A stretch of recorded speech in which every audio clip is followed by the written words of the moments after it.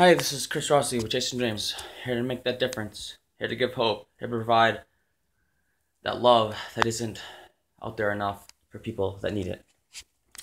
Um, this is a cause to uh, do our part, to work together to make things happen, to really bring progress to the world in a loving way. Okay, so this video is about suicide and depression.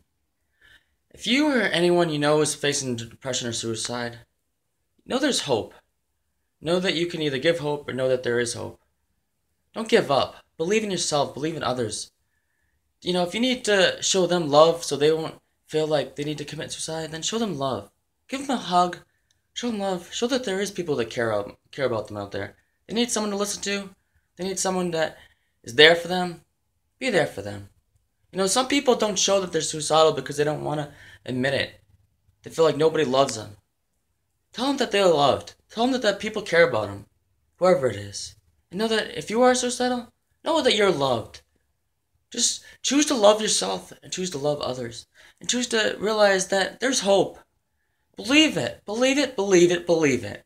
Don't give up. Don't ever, ever, ever give up. Because suicide is never the answer. Suicide is only a problem. The solution is there. The solution is called love. Solution is to not give up. Solution is to find people that really do care.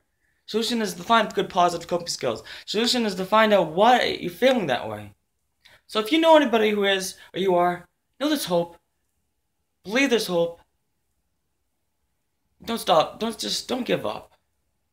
Love is there. Have a good day or night. God bless. Take care. Now believe that there's hope out there. Choose love. Choose hope.